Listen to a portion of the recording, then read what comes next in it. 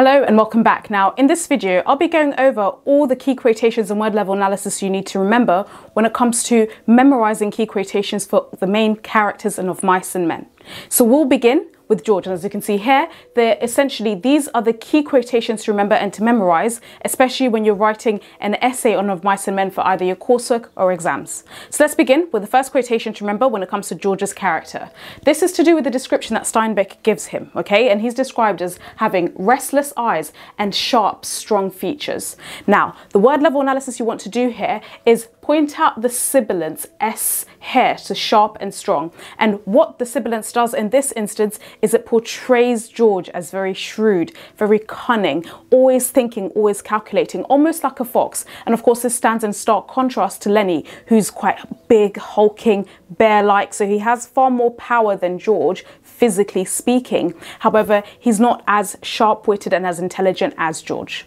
Now, the second quotation to bear in mind with George's character is when at the beginning in the first chapter, he tells Lennie and instructs him, I want you to come, ellipsis, and hide in the brush. This is vital instruction for Lennie because he's basically telling him, in case there's any trouble, we've now found work. In case there's any trouble, we come back here okay, to the river, but more specifically, come and hide in the brush. And already this kind of foreshadows that Lennie might do something which will get them in trouble, and George doesn't quite trust that things will go okay. Of course, we then do realize that Lennie does uh, what gets him in trouble, and George ultimately, sadly, has to kill him, okay? Now, the word level analysis you want to remember with this quotation particularly is firstly, it's an imperative sentence. An imperative sentence just means a sentence that issues a command. That's the first thing you want to talk about, and that's a structural feature.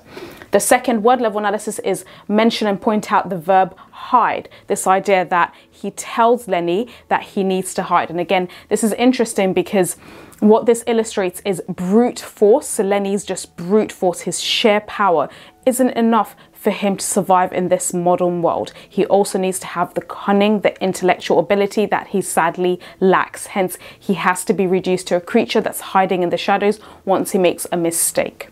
Now, the third quotation to bear in mind for George's character is when he states to Lennie, guys like us, ellipsis, are the loneliest guys in the world. Okay, so guys like us, ellipsis, are the loneliest guys in the world. Now, the word level analysis you want to do here, firstly, is the superlative adjective loneliest. Remember, an adjective is just a word that describes a noun. There's also comparative adjectives, better, worse, so it compares two things. And superlative is the most extreme amount of that thing. Best, worst, loneliest, happiest. Okay, so this is a superlative adjective, loneliest. And of course, this whole sentence is hyperbole, it's over exaggeration. And again, what this quotation is important in illustrating is how the life of the ranch worker, the immigrant worker, the person like George and Lennie who are, were constantly in search of work, that life was a very difficult and lonely life, and hence why George and Lennie actually stood out in contrast to all the other ranch workers. They were quite lonely, they were very um, individualistic, however, they're also very, very lonely and very alone, okay? And of course, there's almost this element of hope, there's almost this brotherhood that's captured in this quotation that George wants to illustrate.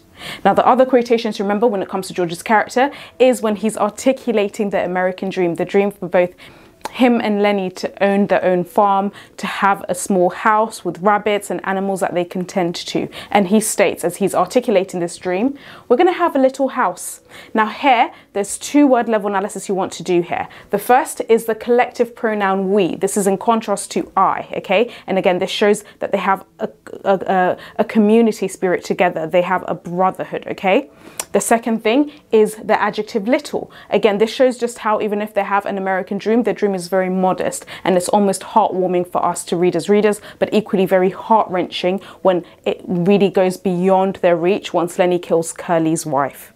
The other quotation to bear in mind is when Curley turns on Lennie, so he's really angry and he's frustrated, more jealous of Slim's power and the influence that he has over his wife, but he vents this frustration and this anger and he attacks Lennie. Lennie doesn't know what to do and he only acts once George tells him, get him Lennie, and this is what causes Lennie to crush Curley's hand.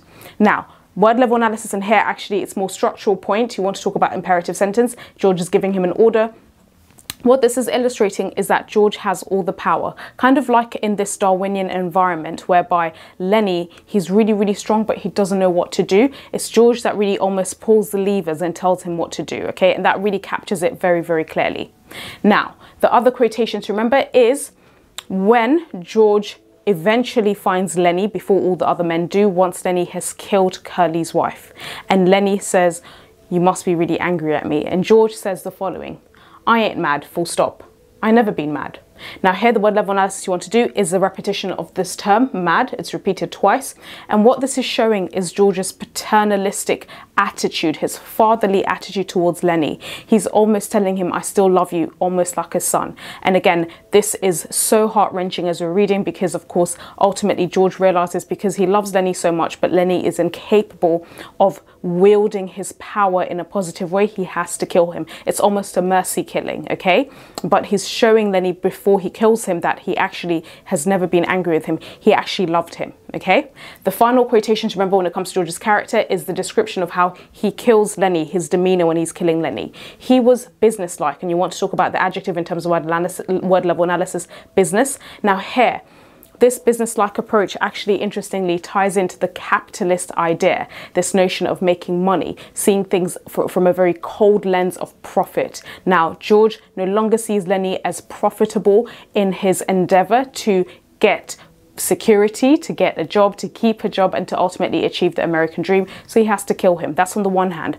However, also his business-like demeanor shows maybe that he has uh, stoically accepted defeat. He's accepted that the American dream is now out of the reach. And so he kills Lennie, and with Lennie's death, he kills his dream of the American dream.